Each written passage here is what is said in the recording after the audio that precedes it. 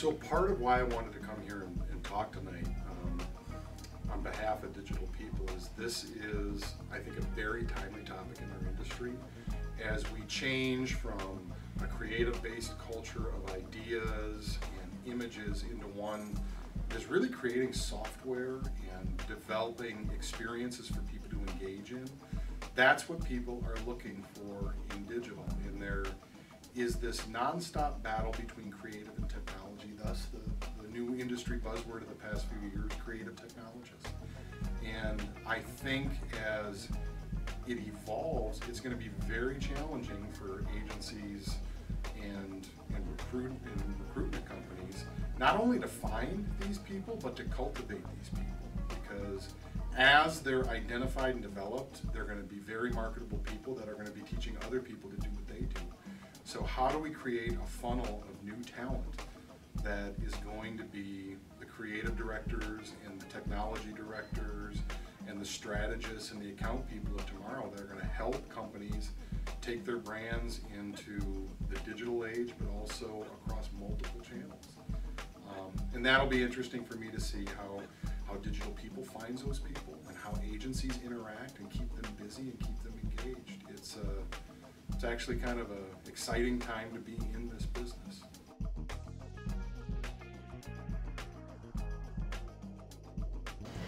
In advertising, we focus a lot of our effort around what's going on in marketing. How are we going to get people interested in what we're doing, engaged with our product?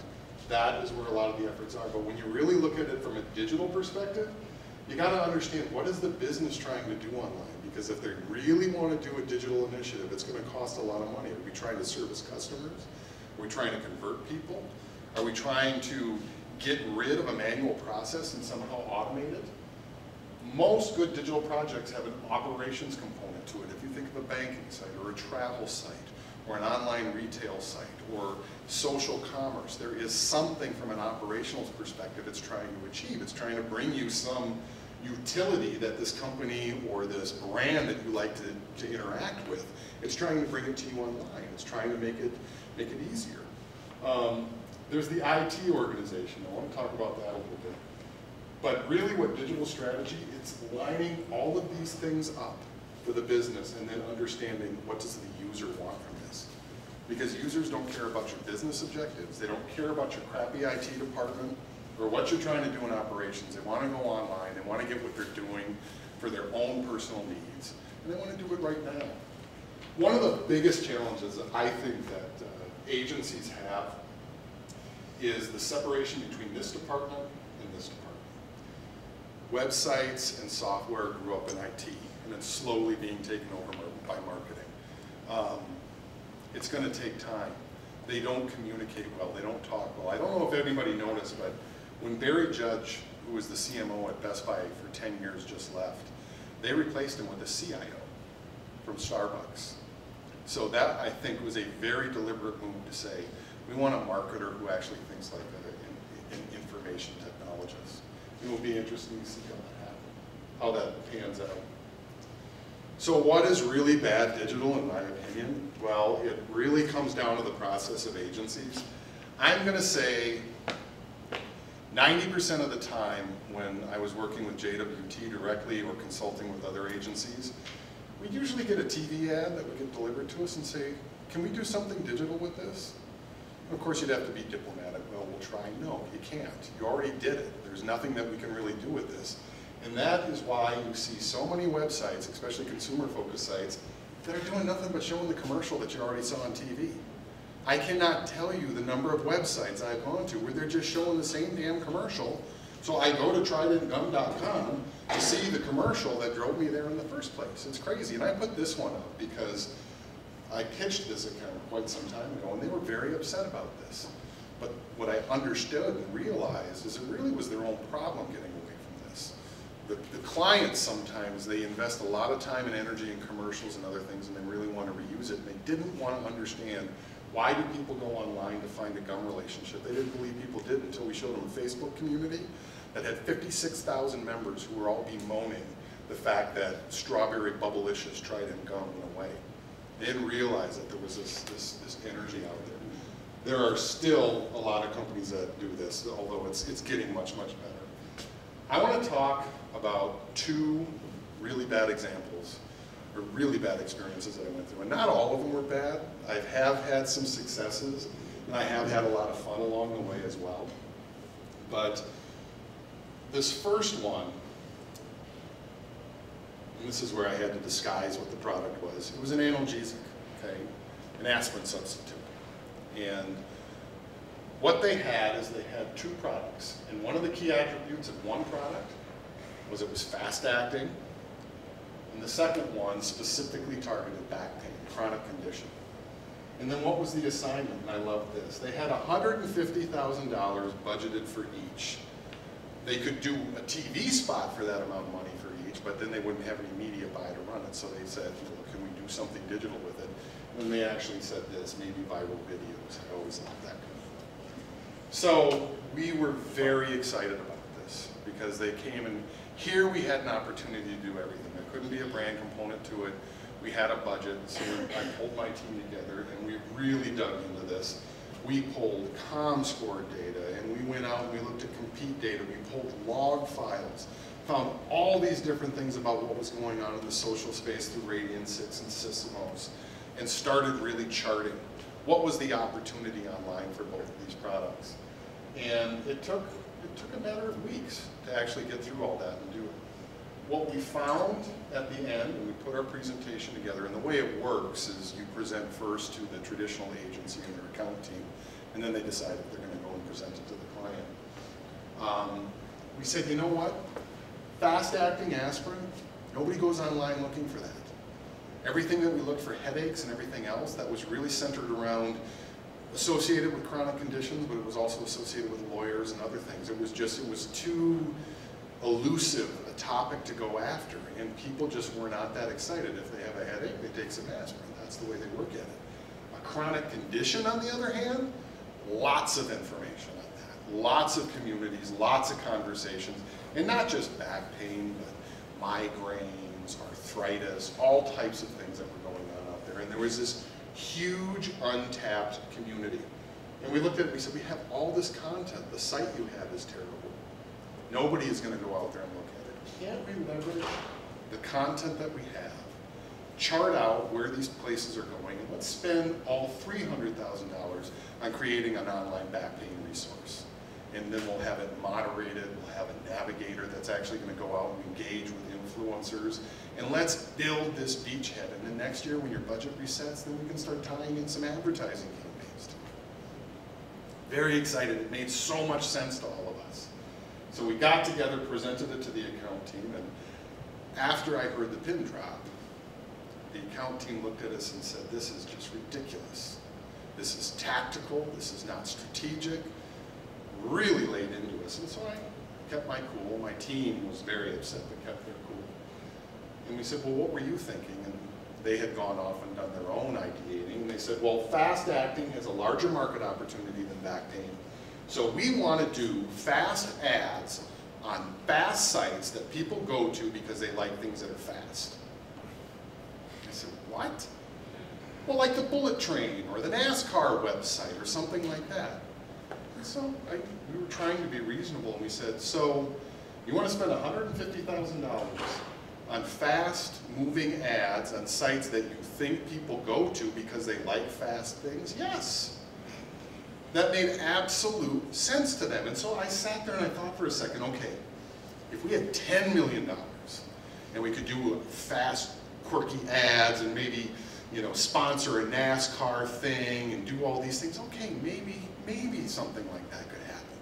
But you don't have that. You got $300,000 and that isn't going to happen. You're going to throw stones in the ocean. Well, we would rather have a deeper brand engagement.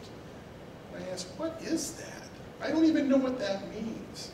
The meeting devolved very quickly after that. It was just one of those ones where you walk out and you say, what just happened here? So as it happens with agencies, the account team goes and runs to their know, management supervisor, to the president, escalated all the way to the top, and there was a very reasonable head of strategy that said, no, this makes sense. Show this to the client. This makes sense. They don't have the budget to do what you guys are talking about. Do this. So we went, we pre- presented it to the client, and nobody from the traditional side showed up. The Client loved it, and they said, we need to do this with our other products around um, migraines and arthritis, all these different things. We really need to take control over niche products. And we left thinking that this was gonna happen. We were really excited. And then a dawning reality came in afterwards. Nothing happened. Why do you think that is? A good account person can kill any project they want by doing nothing. Anybody who's worked in agency business long enough knows that a good account person with a good relationship can tank any idea or talk the client in and out of anything. And in this case, they did nothing. And they forgot about it and it just went away. And I think ultimately they went back to fast ads that, you know, incite some people actually because they like these are fast. That was one of the harder ones I'd ever gone through in terms of a defeat. There was one more though that was maddening. It was an airline. And as happens, when people have bad digital presences, and this is what companies will do, they ignore them and they pretend that they don't exist. Yeah, we got a crappy website, we got a crappy experience, but if we just don't talk about it, maybe but nobody will really notice that it's that bad. Well, this particular airline, Forrester called them out, and they did a vertical industry survey, and they were ranked the worst experience for a vacation website in the entire world. That got their attention. So then what happens? Well, I just love this. What was the assignment? We want to take the vacation website from worst to first. Not only that, they wanted to create a new category. I love it. You're the worst there possibly can be, and in the next 12 months, you actually think you're going to become the best that can possibly be? Okay, well, look, we'll deal with it. They also said don't reinvent the wheel. Now, this was a big challenge because I was part of a holding company. We were brought in on the digital end.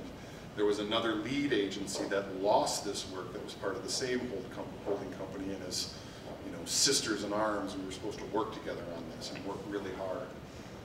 Well, as we dug in on the digital side to what was really going on, it was a horrifying mess because they had all these islands of information. They had their Sabre system for booking and scheduling that was not connected to their passenger system, that was not connected to the reward system. So you'd go through the site you'd have to constantly re-log in with different usernames and passwords, just the worst possible user experience. So single sign-on was a big part of our recommendation as we went through it. And then we started actually leveraging a lot of research about what do people do when they're going out and looking at vacation sites. And there's really a process. There's the dreaming process, where do I want to go, what do I want to do? There's the planning process, and then there's the process. And if you think about it, if you're planning a dream vacation or another vacation, kind of follow that. Where do I want to go, what do I want to do? So we started looking at all the things that were out there, and the idea that we came up with was, look, let's have a site that does nothing but highlight vacation destinations. But not only that, let's read their cookie cache. Let's see what sites they're going to, and maybe they're interested in Mexico. And let's show them a little graph that says what our best deal to Mexico is right now. And then let's tie it into the reviews at TripAdvisor. Why should we create our own review system? TripAdvisor has the best review system in the world. Let's tie this in. And then let them create their own vacation and maybe push it out through, um, was it Social Connect at the time? I think it's something else. They can post it on Facebook, get their friends to comment get their friends engaged, and really just create one of these experiences where I want to go there and everything is there and it's at your fingertips. Um, very expensive to do. It was going to take a long time to do, but we really felt we had hit it. What I didn't realize, so we were doing this part and the other agency still got to do the interface design. Well, what I didn't realize is they had been briefed completely separately and when they came back, they had a concept that followed their ad campaign, which was the excitement of planning a vacation. So you came to the site, this was their idea. We're all in a presentation doing this, hadn't briefed each other on it. The first thing you do is you enter in your dates. And if the dates are in the winter, the background turns to snow. If it's in the summer, the background turns to summer. And then you go ahead and pick the destination, and then a suitcase opens up on the bed. And if you're going to a summer destination, well then all of a sudden summer clothes go in there, or ski clothes, or whatever it was. And I just sat there horrified and realized they were trying to take their ad and somehow make it into a digital concept, but it wasn't doing anything for anyone. It absolutely blew up at that point. And part of it was really the client's fault because the brand group didn't like interlopers coming in, the IT group wanted somebody in, so it was, you know, the client had a lot of problems too.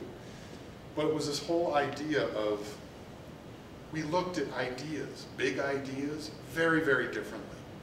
Very, very differently. So what was my conclusion? Big ideas are cool. In the advertising world, there are these things that capture imagination, the cultural zeitgeist, the, you know, it, it, it, it inspires you. It makes you want to do something or be something. There's a wonderful article that appeared in Fast Company called The Future of Advertising, and you can find it online. And the woman talks about that, how sometimes there are these transformational brand advertising campaigns that just grab you, grip you, and then turn you into an advocate. She estimates that all time, since the beginning of advertising, there's maybe a couple of dozen that fit that bill. Very, very hard to do, but that's what big ideas